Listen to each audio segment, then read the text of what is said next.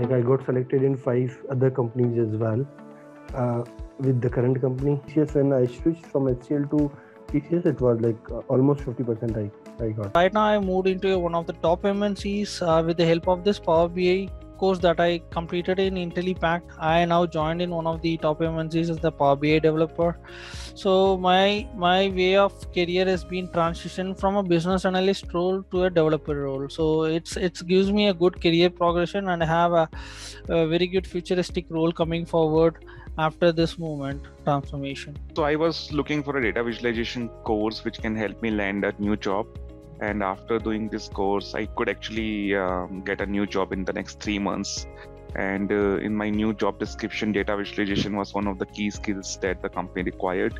And this course uh, sort of provided me a right amount of foundational skills so as to provide me an edge during the recruitment process.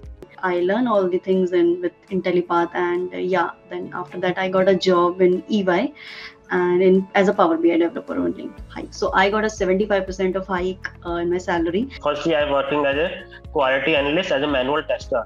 So with the help of the uh, uh, with the help of my uh, like Intellipaat itself, I have made my transition to the TCS as a data analyst and the Power BI developer. I got a decent hike also, like you can say 130% hike I have got. I got a pretty good hike, like uh, uh, you can say uh, almost about 60%. So, like for your information, I'm currently working with EY, Ernst & Young. Uh, it, it, was a beautiful journey, and I never really, uh, you know, uh, expected that online learning can be so interesting and worthwhile. Basically, I'm a SQL DBA and developer so after learning the Power BI, my job is very easy. Uh, most of the organizations are using SQL as a data source.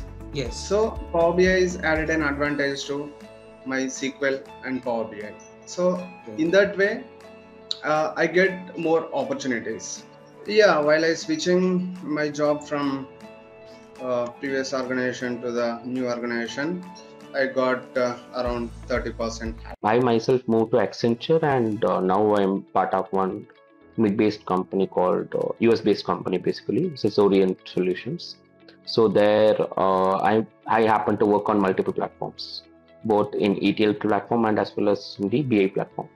So that's how Intellipaat worked for me, and I can project myself like how it is working and how the real-time project phase works everything and also my height percentage was almost 100% actually